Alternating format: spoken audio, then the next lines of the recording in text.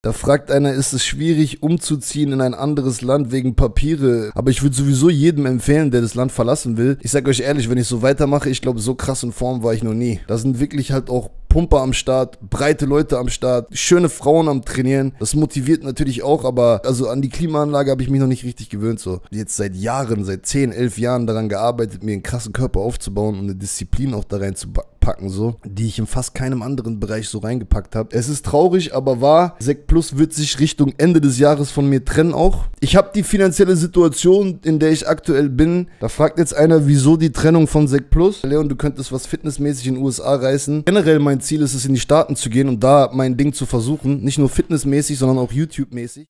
Bin unterwegs mit den Brüdern, wir wollen doch nur ein bisschen von der Sonne. Fahre am Kuder mit ner Bitch, der Kopf ist gefickt und ich öffne ne Bardo. Jeder will Aufmerksamkeit, doch der Schmerz auf mein Herzen wiegt über ne Tonne. Kann ich entkommen, bete zu Gott, bitte übernimm Kontrolle. oh shit, man. Holy moly guacamole. What's going on here? Was geht? Läuft alles. So super, Digga. Sehr schön. Also, was geht, Leute? Seid ihr wieder down oder was? Ich habe hier zum Ausgleich Tee und kaltes Wasser. Ich brauche den Tee, aber Ginger it in, man. Irgendwie ähm, habe ich das mit dem Tee nie aufgehört, ne? Selbst wo ich hier bin. Eigentlich macht es gar keinen Sinn, in dem Land hier einen Tee zu trinken, weil es einfach brutal heiß ist. Aber ich weiß nicht, so mein Tee mit Ingwer muss ich mir gönnen einmal am Tag. Was geht, Leute? Gemmo ist auch da, sehe ich gerade. Gemmo, was geht ab? Wie geht's dir? Alles gut? Da fragt einer, ist es schwierig umzuziehen in ein anderes Land wegen Papiere, wegen Papierkram? Ähm, ich muss sagen, ich bin immer noch in Deutschland angemeldet. Wird sich aber wahrscheinlich auch die nächsten Wochen, Monate, vielleicht ein Jahr, wird sich ähm, das auch ändern. Es ist nicht so einfach, sich aus Deutschland abzumelden. Aber äh, für mich macht es auf jeden Fall Sinn. Das steht aber auch noch nicht hundertprozentig fest. Aber ansonsten, also so einfach äh, das Land zu verlassen, ist nicht schwer. So, ne?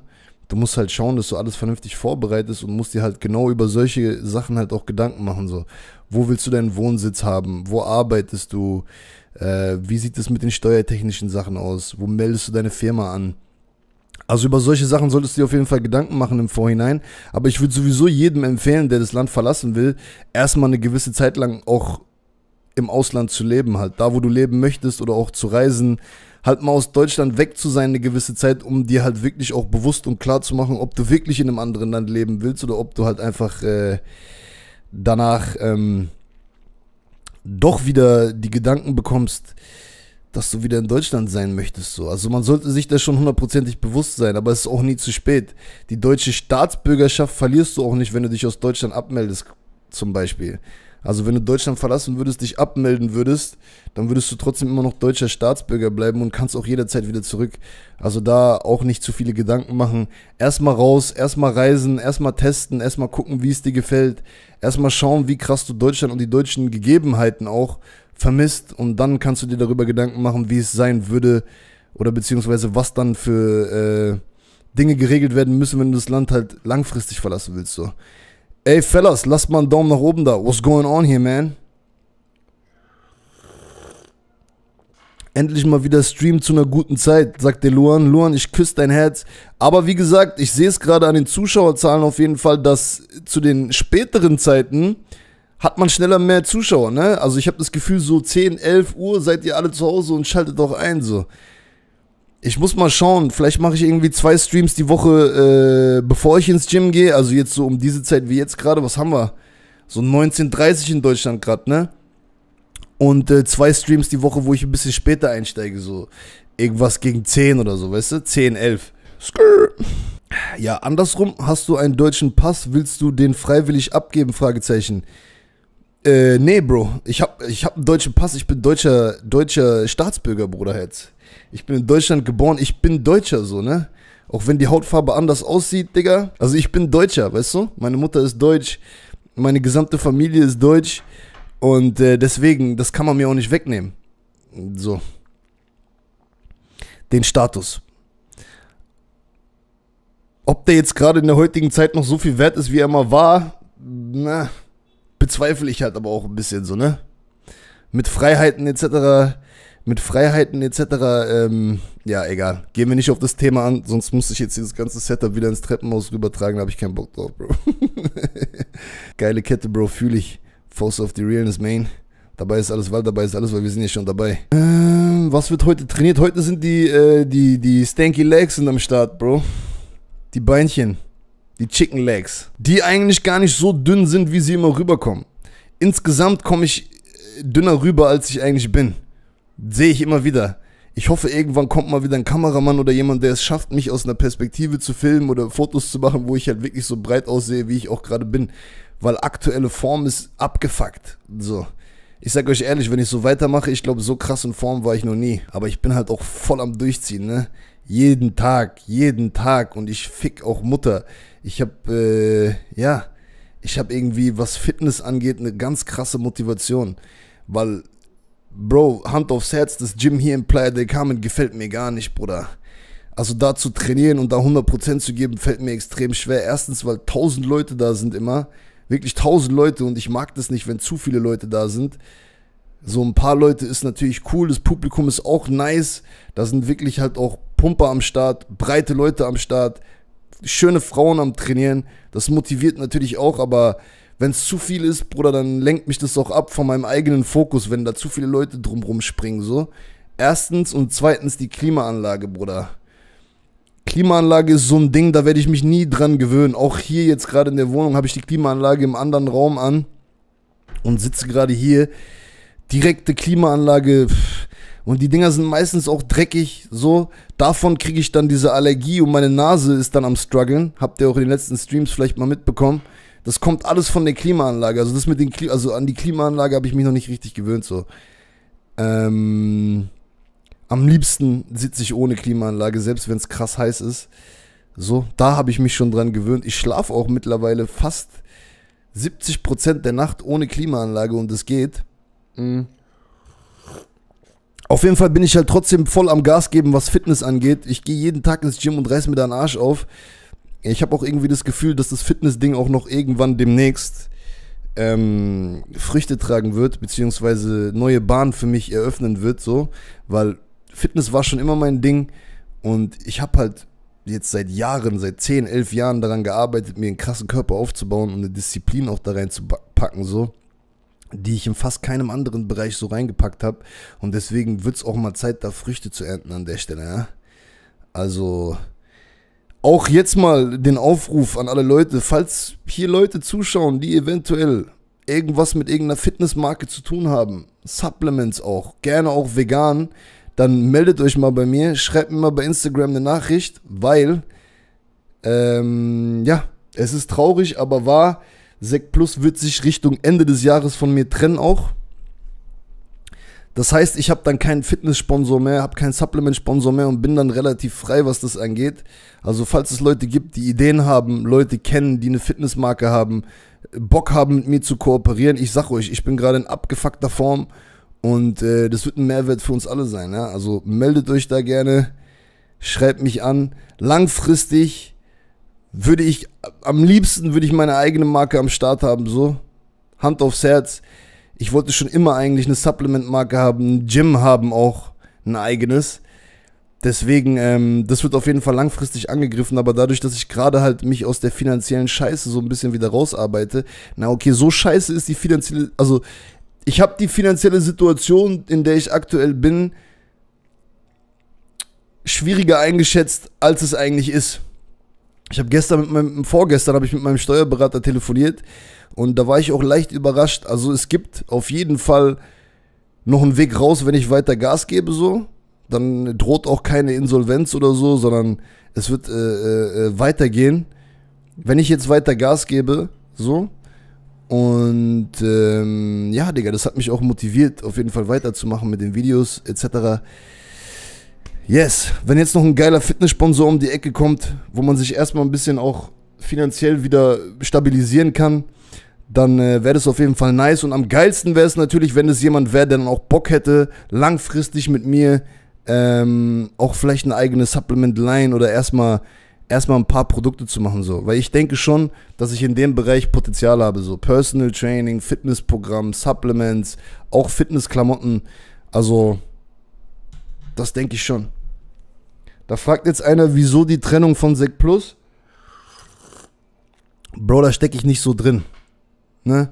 Ich habe gestern mit dem Bruder telefoniert, der da für mich zuständig war die ganze Zeit. Und der hat halt gemeint, so, ey, ich habe da schon mal reingehört und so und so, wie das aussieht. Äh, Richtung Ende des Jahres wird sich die Kooperation, dann wird die Kooperation dann auslaufen. Wir hatten immer Jahresverträge und am Ende des Jahres ist der Jahresvertrag vorbei. Und äh, keine Ahnung, die sehen vielleicht auch nicht mehr. Ja, keine Ahnung, Dicker. Kann viele Gründe haben, Bro. Ich sag mal so, die Reichweite ist auch nicht mehr die, die sie mal damals war. So. Das Image in Deutschland ist es auch nicht mehr, was es mal damals war. So, ich bin halt jemand, der halt auch seine Meinung sagt. Sek Plus war aber jemand, die sind halt trotzdem am Start geblieben, haben mich weiter supportet. Aber vielleicht lohnt sich das für die jetzt auf Dauer nicht mehr so. Keine Ahnung, also ganz genau stecke ich da nicht drin, Bro. Weißt du, wie ich meine? Aber es wird auf jeden Fall ähm, bis Ende des Jahres weiterlaufen, meine lieben Freunde. Also ihr könnt auch weiterhin mit dem Code Leon10 auf jeden Fall 10% abkassieren bei den Kollegen. Und äh, generell bin ich auch keiner, der jetzt irgendwie dann böses Blut am Start hat oder so, Digga. Ich weiß ganz genau, wie das Business läuft. Weißt du, wie ich meine? So. Der Bruder am Telefon hat gestern auch gemeint, so ich hätte ich persönlich hätte dich gerne behalten, weil du halt form- und körpermäßig einer der stärksten bist, so. Aber ja, Bruder, darauf kommt es halt heutzutage auch nicht mehr so krass an, ne? Auch nicht im Fitnessbereich so. Sieht man ja auch. Also es geht auch gar nicht mehr darum, ob du Fitness machst oder nicht, sondern halt, ob du eine krasse Reichweite hast, so. Und wenn die krasse Reichweite am Start ist, ähm, dann wirst du auch gesponsert. Da schreibt jetzt gerade einer Leon, du könntest was fitnessmäßig in den USA reißen, ja, äh, erreichen. Das ist auch eigentlich mein Ziel. Sowieso generell mein Ziel ist es, in die Staaten zu gehen und da mein Ding zu versuchen. Nicht nur fitnessmäßig, sondern auch YouTube-mäßig, auch Content-mäßig. Also ich hätte auf jeden Fall Bock, definitiv auch Content in Englisch zu machen. Mein Englisch wird immer besser von Zeit zu Zeit, in der so so äh, Aussprachfehler, out, man.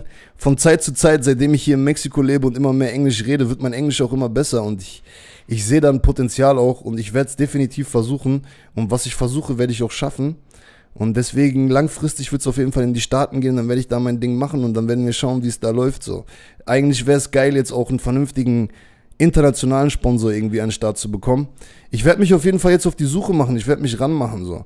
Es ist halt immer noch schwer, weil mein Content in Deutsch ist, dann einen internationalen Sponsor zu bekommen, ob die das, ob das sich für die so lohnt, äh, da muss man mal schauen. Aber es gibt ja auch so Unternehmen wie Biotech zum Beispiel, wo auch Deutsche teilweise drin sind und internationale Leute. Deswegen, das kann schon alles funktionieren. Ja. Ich muss da jetzt nur weiter Gas geben, mich weiter aufbauen, weiter hart trainieren und dann eventuell demnächst anfangen, einen neuen Kanal zu machen auf Englisch oder einen von den beiden Kanälen auf Englisch zu, zu switchen oder ab und zu mal ein englisches Video zu machen. Ich habe auch schon ein, zwei geile Videoideen.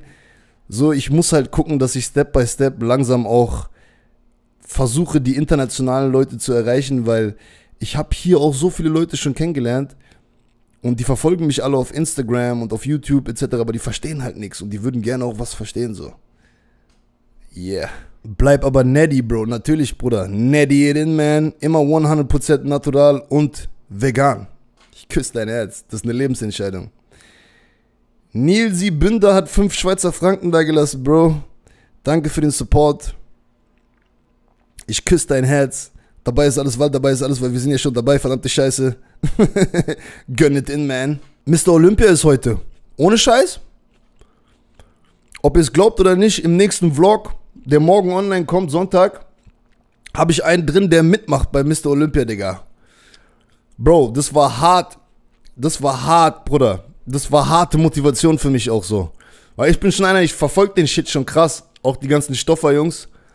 Ich mag mir die auch reinzuziehen so. Und, ähm, Bro, als ich mal so einen Typ dann wieder in Real Life gesehen habe, schon lange nicht mehr so eine Monster gesehen am Trainieren auch und am Flexen und am Posen und am Machen und am Tun. Wenn ihr meine Story verfolgt, dann habt ihr es schon gesehen. Instagram Story. Mhm. Geil. Wenn es heute ist, dann wird er heute da am Start sein, Bruder. Phil Heath 2.0.